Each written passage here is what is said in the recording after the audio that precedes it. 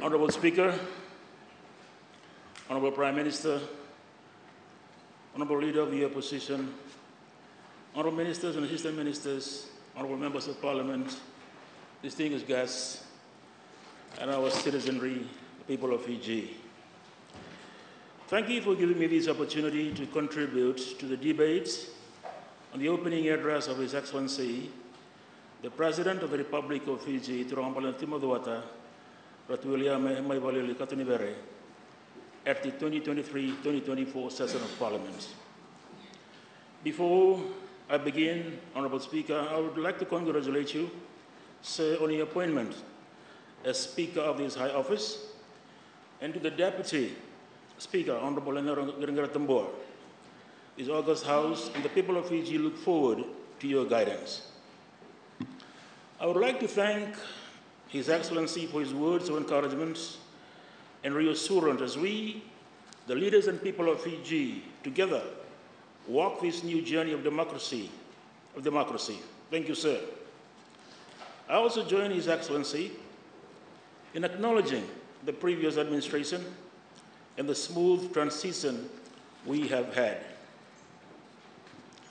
We're inheriting a functioning government and a country that is fiscally intact. But with my eight years in Parliament, we could have done better, and we will do better, especially in strengthening institutions.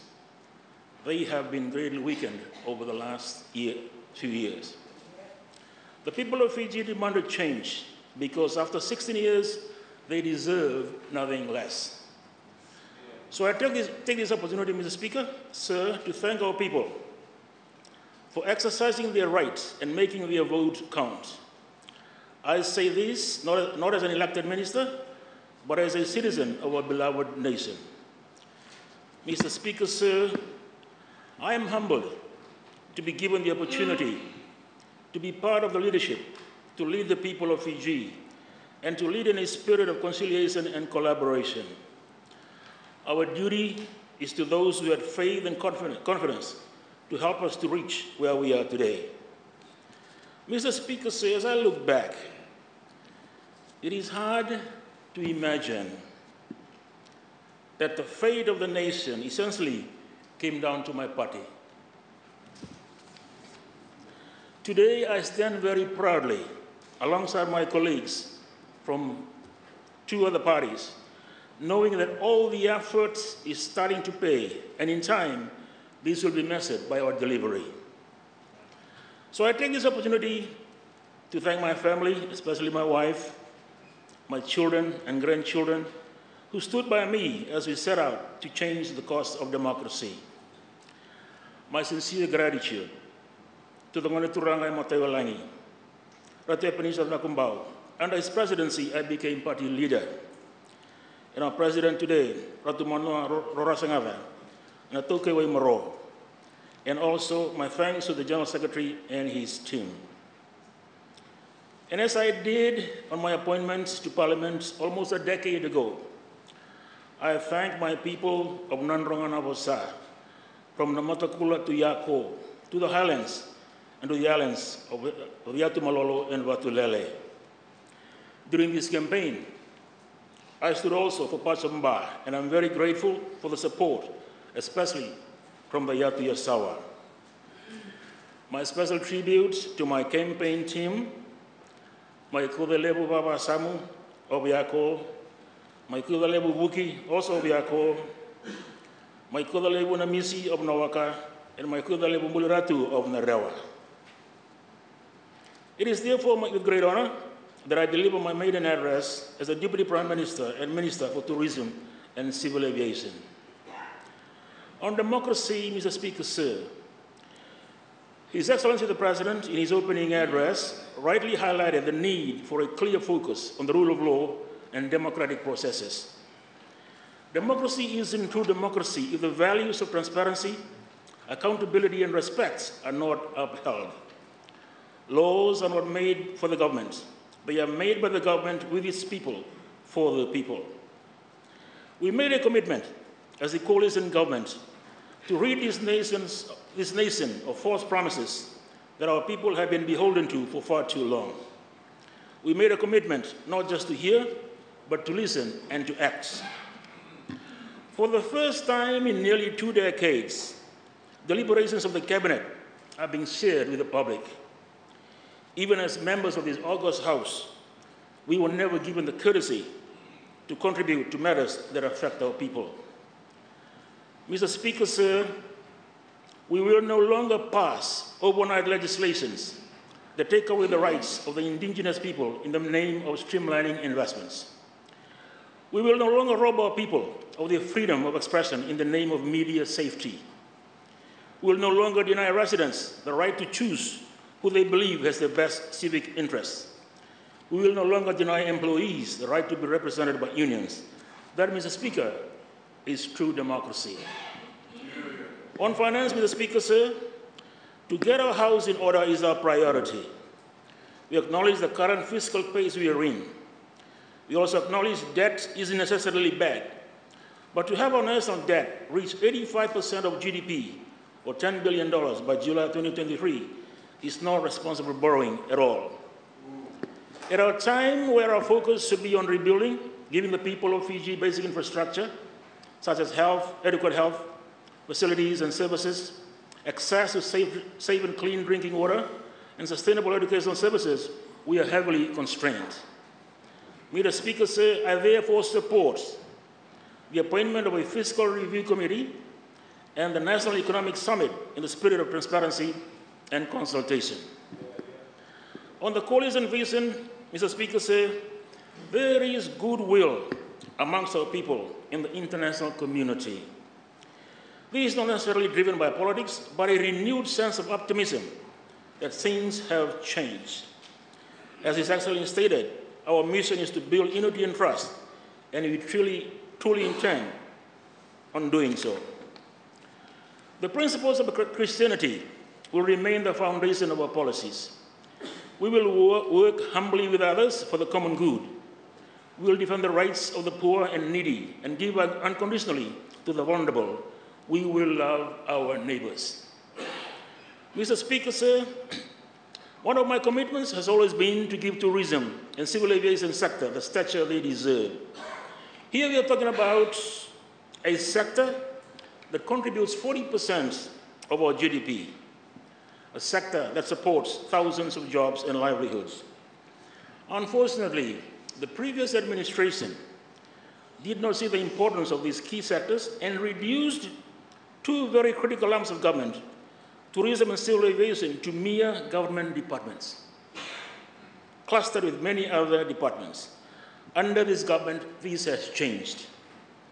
We have restored the Ministry of Tourism and Civil Aviation as a standalone entity that can act as a better support system to the private sector. On tourism numbers, Mr. Speaker, sir, I strongly support His Excellency's statement that in the short-term economic outlook, supporting tourism will be critical. That is a reality. Fiji's economic recovery continues on the back of a strong tourism rebound. In 2022, our visitor arrivals surpassed, surpassed expectations, reaching 71.1% of 2019 levels, underpinned by the Australia, New Zealand, and the US markets. In December last year, Honorable Speaker, we recorded the highest number of Australians in, in history in a single month. Mr. Speaker, sir, I come from the industry and I know how challenging the pandemic would have been on the operators. So I take this opportunity to thank the industry for its sacrifices and the remarkable commitment in getting us through some of our darkest days. Mr. Speaker, sir, in the first few days of taking office, I visited, visited many tourism stakeholders. I can say with a lot of confidence that we are now in a new era of economic development. In the first quarter of 2023, we have exceeded pre-pandemic levels as far as hotel bookings go. Just in the last week of January, the average occupancy recorded was 75%. In 2019, the average occupancy for this, time, for this same week was 43%. The revenue per available room or RevPAR recorded for this week, this week was $305, much higher than 2019 levels. Looking at February to April 2023, Top countries searching for accommodation are Australia, New Zealand, and the US, with an average length of stay of up to seven days. So tourists intend to stay longer. This shows, Mr. Speaker, sir, the confidence people have in our tourism and Fiji as a country.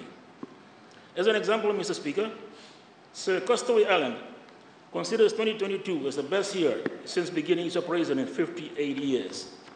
This year, they forecast it to be even better.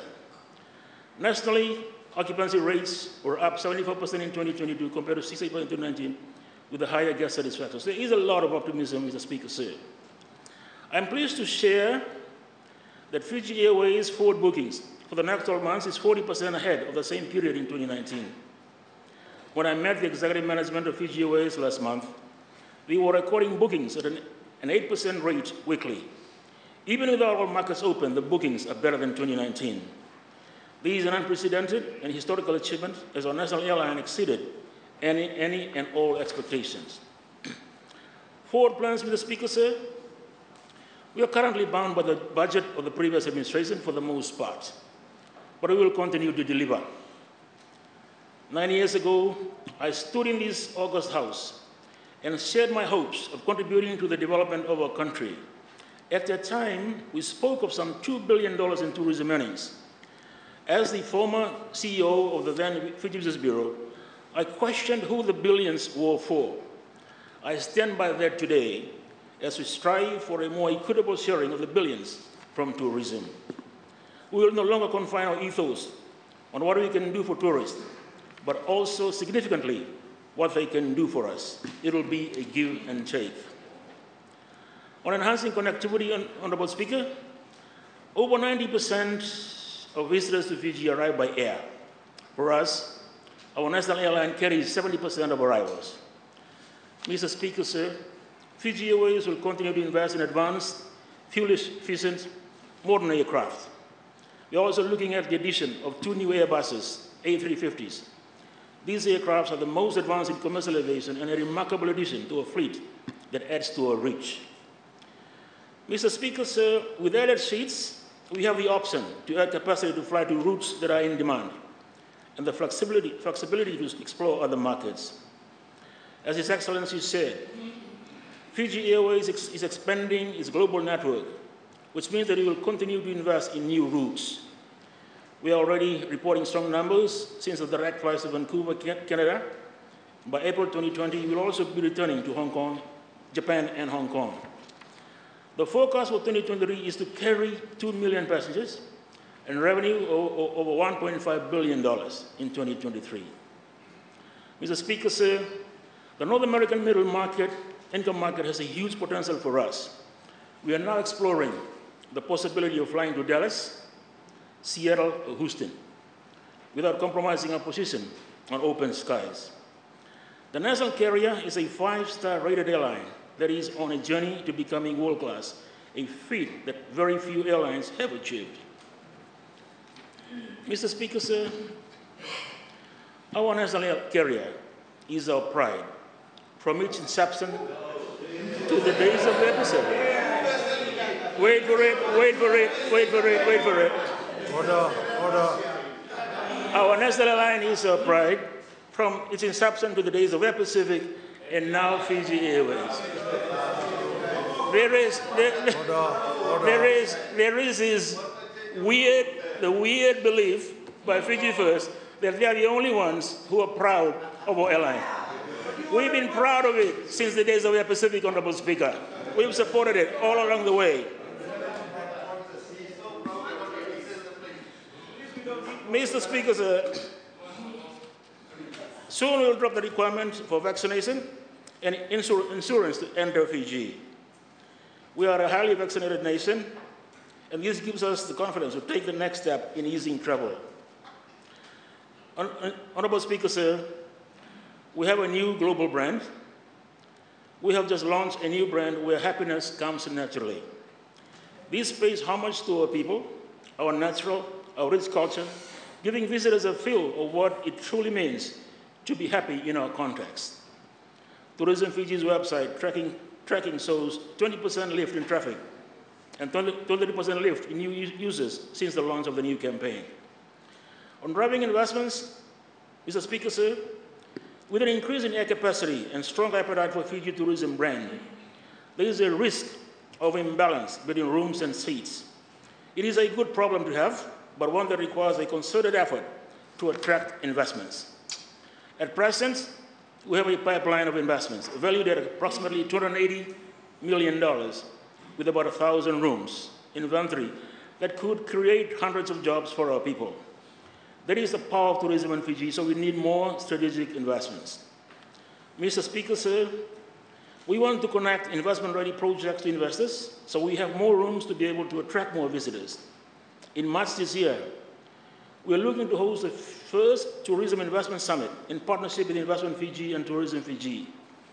This will be an exclusive gathering of 50 key tourism investors, hoteliers, brands, and associated businesses that gives us the opportunity to attract legitimate investors to boost investments.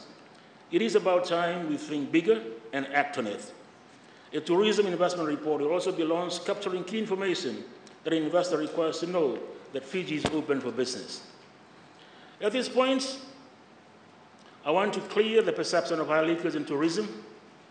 We now most, own most of the properties in Fiji, Honorable Speaker, in the likes of the Marriott, Intercontinental, Sheraton, Westin, GPH, Holiday Inn, all are now locally owned by the people.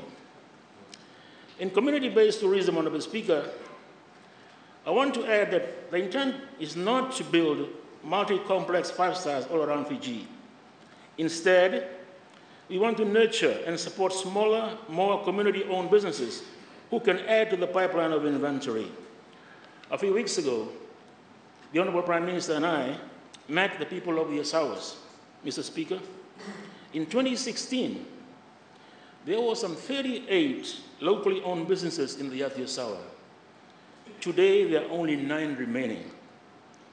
If we bring them back online, which we will do, we are adding to the room bank that we sorely need. Our plan going forward is to support our resource owners and our indigenous people.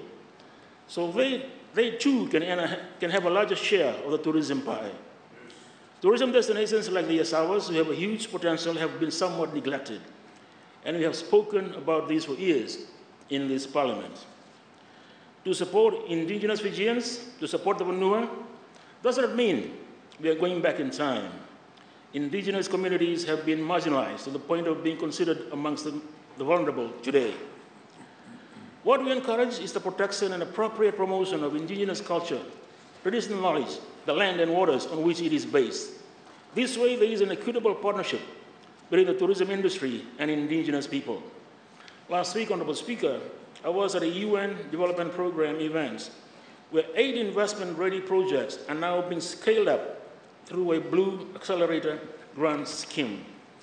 One of them was the Uto ni Yalo and Talanoa Treks, who intend to develop Fiji's first ever ocean trail build, building using traditional sailing knowledge. We are bringing back some of the old ways, and these are the types of products that can complement tourism in the outer islands such as the Yasawa. Mr. Speaker, sir, as a ministry responsible for civil aviation, we also intend to invest in our airports, especially those in the outer islands. I have met with the chair and management of Fiji airports, and we are looking to upgrade the airport terminals in Labasa, Nausori, Nadi domestic, and Savusavu during the next 18 months. Mr. Speaker said the intent here is to create a level playing field. We want the infrastructure to be built as such that it accommodates different aircraft fleets both the Fiji Link, and Northern Air. We need to encourage healthy competition for the sake of not just tourists, but for our people. Mr. Speaker, sir, on dispersing tourism, Vanua Levu, our second largest island, needs to get the attention it deserves. And so do the other islands in Fiji. We are one and we should grow as one. Yes. Mr. Speaker, sir, we are now advancing discussions with the World Bank to finance the upgrade of critical infrastructure in the north. I will be soon taking this to Cabinet and to a people of Vanua Levu. On improving business and private, private sector-led investments, Mr. Speaker, sir, I'll wholeheartedly support His Excellency's statement on the coalition government's focus on building confidence and trust with businesses and investors. For years, we have been hearing about business reforms in this August House. To what end, I don't know. Business reforms should be based on its impact to investors and to the people.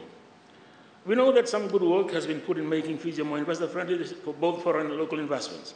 Mr. Speaker said we need to work on that intensely.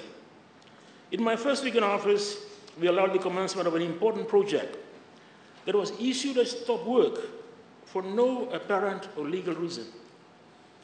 This was a development worth $31 million and had already invested $9 million in value, in value, in value. We can't defy transparency and expect investor confidence this way. We quickly uplifted this uh, stop order, uh, Honorable Speaker. On regionalism, the Honorable Prime Minister has led Fiji's re-engagement with our Pacific family. We are reminded of the power of a coalition, a partnership. We need to restore the balance of interest between Fiji and the Pacific. We are one people with common identity and common challenges and opportunities. Fiji does owe a duty of care to the Pacific family. Mr. Speaker, we will strengthen our relations with the Pacific Tourism Organization, SPTO. As a regional minister, I intend to usher in a new partnership built on a duty of care to one another. We will also bring back our island neighbors to be part of the Fiji Tourism Expo, as was the case in the past. It is a premier trade exchange with a huge international profile that brings buyers and sellers together. It should also benefit our neighbors. Fiji should truly become the, the hub of the region, Honorable Speaker. Mr. Speaker, say we need to look beyond our, our short-term margins we need to invest in our businesses, invest in our people and their capabilities, invest in preserving the environment. What we, what we take, we must return. To the people of Fiji, please remember your hardships are no longer yours alone to overcome. Time will bear testament. Our leadership as the coalition government is what will shape the society we want today and tomorrow. We will walk this journey together. Thank you, Mr. Speaker, and may the God Almighty, Almighty bless beloved nation.